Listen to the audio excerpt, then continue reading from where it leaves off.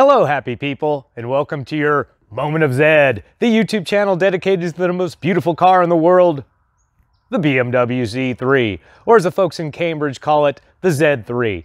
I'm Mark, and today I've skipped my usual hilarious pre-introduction to spend a little more time on our Zed of the Week, sent to me recently by a young man named Oliver from Ontario, Canada, who's really done some pretty cool modifications to the interior of his car. And I wanted to spend a little more time on that today. Uh, and then we're going to get to a product review of a really great product that I've recently used on New Blue. So without further ado, check out the Zed of the Week. Oliver's car is a 1999 2.8 liter 5 speed. Pretty standard on the outside. He's done some suspension upgrades, but really mainly what he's done is a lot of work on the interior all himself, starting with a standard interior with just a newer head unit. He's gone ahead and added a homemade wooden steering wheel, a homemade wooden shift knob, which is weighted with brass round stock, a homemade wooden handbrake lever, a homemade brass light switch, a brass garage door button. He self designed a retro instrument cluster face modeled after a 58 Vette, very cool. He painted the climate control knobs with faux brass rings, added a voltmeter, an oil pressure gauge, also with faux brass rings. He installed a compass. He had to remove all the speakers to get that to work. He has real brass veneer around the push button panel faux snakeskin shifter and handbrake boots, and finally, aluminum pedals. Very nice. Oliver, thank you so much for sharing your beautiful car with us. Folks, I'd love to put another special together featuring viewers' cars for Thanksgiving, the upcoming holiday. If I could get six or seven of you to send in good quality pictures of your cars, I would put that together. How to do that is all in the description, so check it out. I really look forward to getting that going. We've probably featured 30 or 40 cars so far on Zed of the Week and other specials we've done. I know there's more of you out there with beautiful cars. Please send them our way. Now today, we're going to do a product review of this, Meguiar's Mirror Glaze Professional Vinyl and Rubber Cleaner and Conditioner.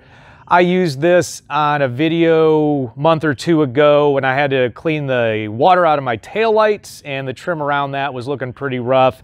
I used this and got great results, so I'd like to do a brief video about this. Pretty simple to use, but this is really, really good stuff, so let's go ahead and get to that.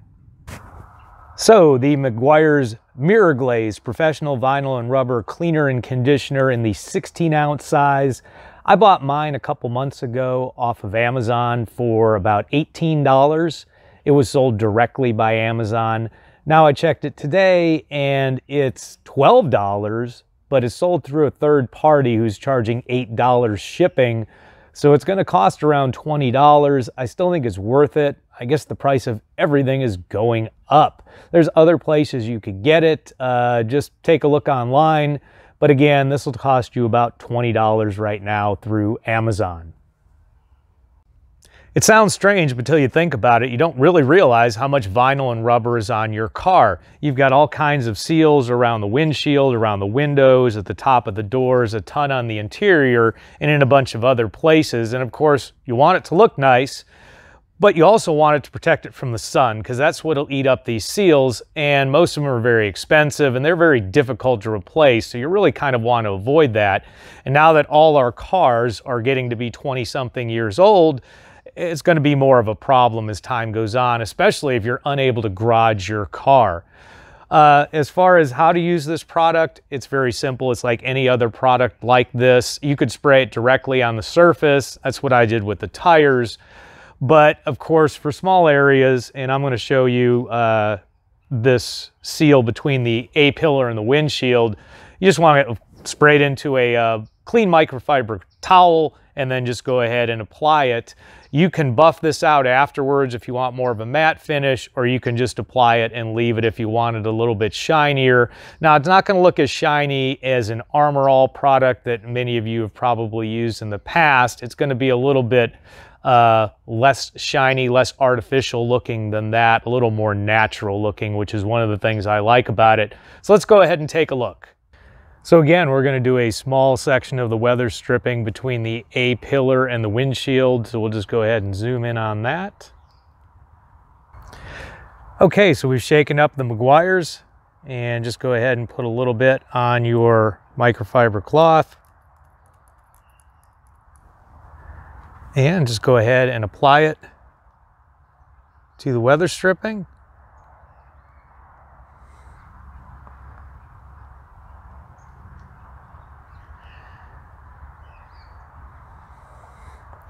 And you're going to see, of course, some oxidation come off of there because it is a cleaner protectant.